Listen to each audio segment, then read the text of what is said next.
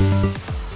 Welcome to Trust Sports in 60 seconds. Some football fans in Abuja have expressed displeasure over Super Eagles 0-1 loss to Central African Republic on Thursday at FIFA 2020 World Cup qualifying game. Meanwhile, Central African Republic head coach Raoul Savoy has disclosed that he told his wife before Thursday's Group C 2022 FIFA World Cup qualifier that if he gets one point, he will be the best man in the world, but now he has three points already. Emeka Hegogbona, a beach soccer player with the Kebbi State Beach Soccer Club, has been named amongst the top 100 top players in the world by FIFA. And lastly, Chelsea Russian billionaire owner Roman Abramovich has returned to London for the first time in three years. Abramovich's visa expired in April 2018, but having obtained an Israeli passport later that year, he has been able to get back to visit his family. And that's all the top headlines on Trust Sports in 60 seconds. Don't forget to subscribe, like and follow us across all social media platforms.